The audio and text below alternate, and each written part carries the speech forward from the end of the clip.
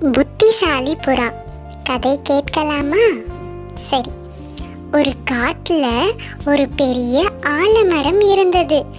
அதில் புறாக்கள் கூட்டமாக வாழ்ந்து வந்தன. புறாக்கள் எப்படி வாழ்ந்து வந்தன? புறாக்கள் கூட்டமாக வாழ்ந்து வந்தன. எங்க? பெரிய ஆலமரத்தில் புறாக்கள் கூட்டமாக வாழ்ந்து வந்தன. ஒரு நாள் அந்த மரத்தின் கீழே வளர்ந்து வந்த பெரிய கொடி மரத்தை சுற்றி வளர ஆரம்பித்தது. என்னது? பெரிய கொடி மரத்தை சுற்றி வளர ஆரம்பிச்சது. அந்த புறா கூட்டத்தில் புத்திசாலியான புறா ஒன்று இருந்தது. கொடி வளருவதை பார்த்த அந்த புறா இதை உடனே நாம் அழித்துவிட வேண்டும். இதனால் நமக்கு ஆபத்து வரலாம் என்றது. அப்போ அந்த புத்திசாலி புறா என்ன சொல்லுச்சு? வளர்ந்து வர அந்த கொடியை நம்ம இப்போவே அழிச்சிடணும். இல்லைனா இதனால் நமக்கு பெரிய ஆபத்து வரும் அப்படின்னு சொல்லி எச்சரித்தது. ஆனால் மற்ற புறாக்களோ இதனால் ஒன்றும் பிரச்சனை வராது என்று அலட்சியமாக அந்த புத்திசாலி புறாவிடம் கூறின. மற்ற புறாக்கள் என்ன சொல்லுச்சு? இதனால எந்த பிரச்சனையும் வராது அப்படின்னு சொல்லுச்சு. சில நாட்கள்லேயே அந்த கொடி மரத்தின் மேல் வரை வளர்ந்து படர்ந்து விட்டது. கொஞ்ச நாள்லயே என்ன ஆச்சுன்னா அந்த கொடி மரத்து மேலே வரைக்கும் வளர்ந்து நல்லா படர்ந்துருச்சு.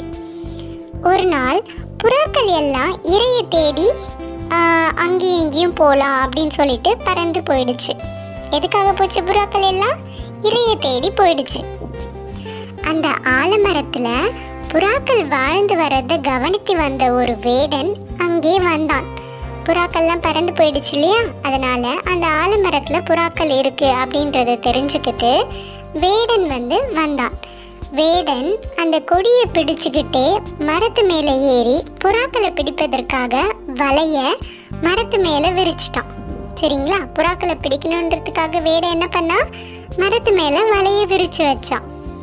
திரும்பி வந்த புறாக்கள் மரத்தில் வலை இருப்பதை கவனிக்காமல் மரத்தின் மேலே அமர்ந்தபோது வலையில் மாட்டிக்கொண்டன.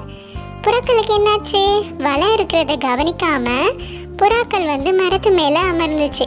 உடனே புறாக்கள் எல்லாம் என்னவாச்சு? வலையில மாட்டிக்கிட்டுச்சு. புத்திசாலி புறாவை பார்த்து மற்ற புறாக்கள் உன் பேச்சை கேட்காததால வலையில மாட்டிக்கிட்டோம். இதிலிருந்து தப்பிக்க நீ தான் வழி காட்ட வேண்டும் அப்படின்னு சொல்லிட்டு சொல்லிச்சான் மற்ற புறாக்கள் எல்லாம். உடனே புத்திசாலி புறா என்ன சொல்லிச்சான்?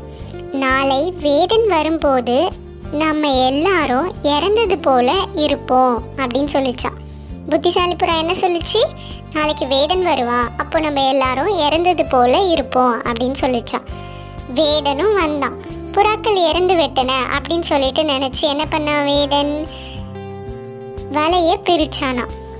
வலையை முழுவதும் வேடன் வந்து பிரித்த உடனே புத்திசாலி புறா ஒரு குரல் கொடுத்தது. என்ன குரல்?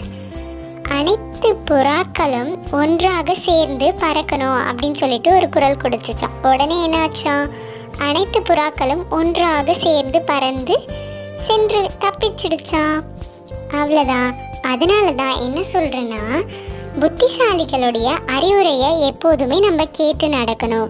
பிரச்சனைகள் பெருசாக ஆகிறதுக்கு முன்னாடியே சின்னதாக இருக்கப்பவே நம்ம வந்து பிரச்சனைகளை தீர்த்திடணும். சரிங்களா?